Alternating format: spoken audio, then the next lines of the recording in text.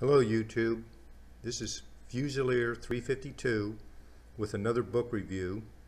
This goes out to all German reenactor friends. This book is titled Rations of the German Wehrmacht in World War II by Jim Poole. It's a hardback copy and it's available on Amazon for almost $70, just a little less than $70. If you're lucky enough like me, you'll have a uh, a relative that will buy it for you for your Christmas or birthday.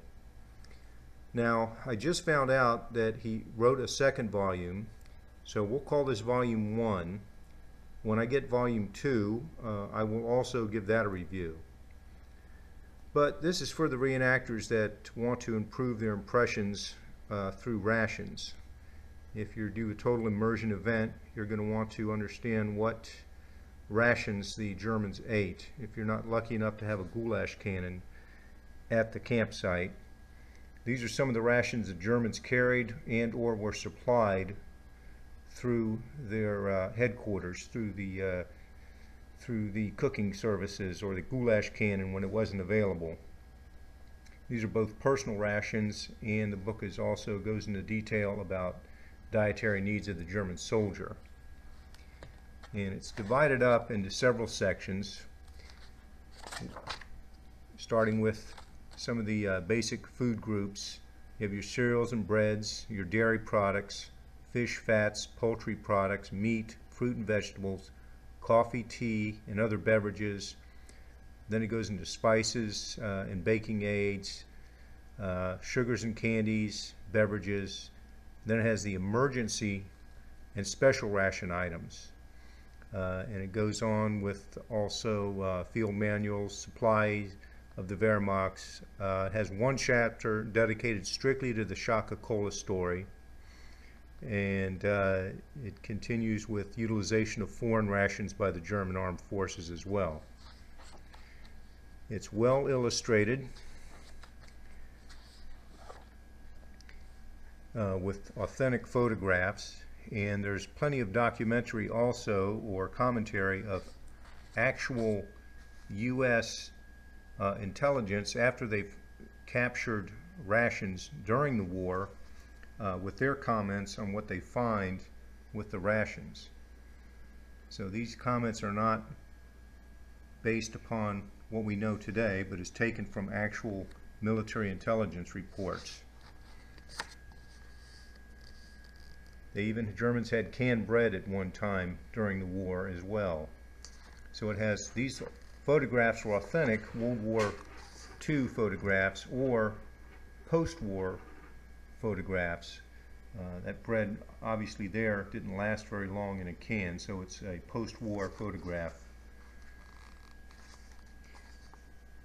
Shows how the cans were were stamped with certain codes so you knew what was inside most of the product produced by the Wehrmacht itself or for the Wehrmacht strictly didn't have labeling. Now it's not that they didn't also buy commercial goods on the open market, but if it was produced strictly for the Wehrmacht, they used a code rather than labeling. And of course, here's the fresh bread. Most armies prefer to feed their troops fresh food rather than preserved food when when that wasn't necessary obviously you have to make special considerations and have some type of non-perishable items that you can get to your soldiers. It's full of plenty of illustrations of authentic product which also will aid the German reenactor in recreating some of these uh, rations for his impression Here's a can of pretzels that I actually had a friend reproduce for me. There's the famous name Knorr. Products from Knorr are still available. More cans with the uh, date codes on them and uh, product codes, what's inside.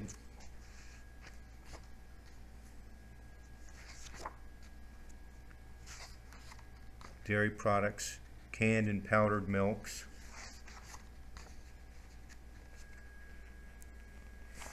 So the book itself, its color, it's uh, full of plenty of illustrations with labeling, uh, sizing, uh, ounces, dietary needs of the soldiers. So it's a great addition for any reenactor to try and reproduce rations.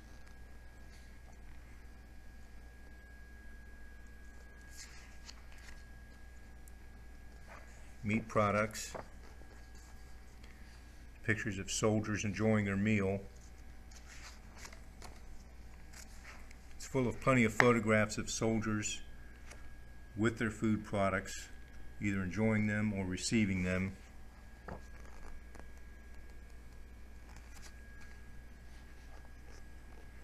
Here's a photograph of what it's like to eat in the field.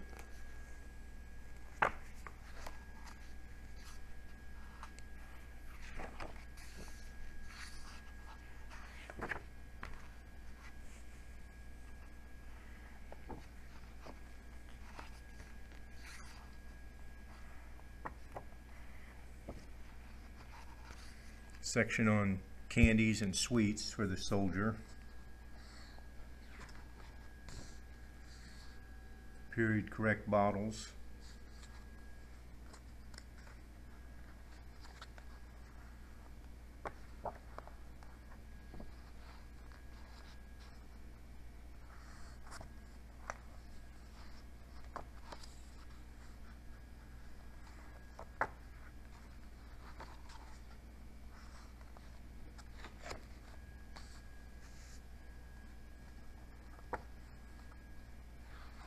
There's one chapter devoted strictly to the Scho-Ka-Kola story. And what would reenacting be without a can of Scho-Ka-Kola with you?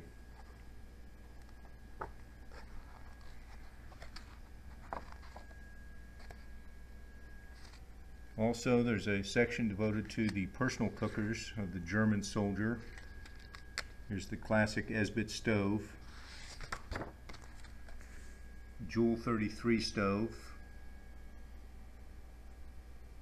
Although the Juwel 33 is hard to come by, the Juwel 34 seems to be plentiful on eBay and other areas on the internet and is almost exactly like the Juwel 33.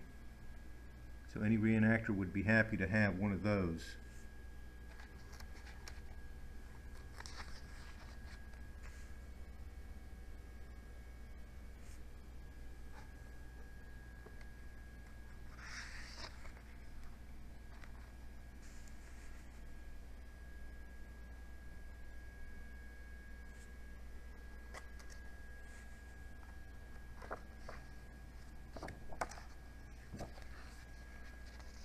Here's some of the utensils used by German soldiers, either enlisted men or officers.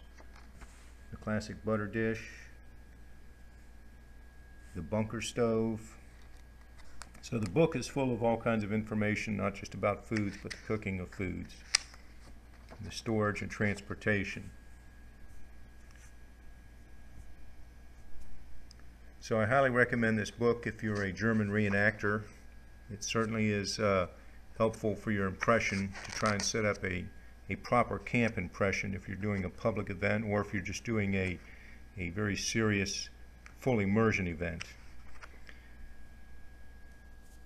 If you like this video, click like below and leave comments and look for volume 2 in the near future. Thank you.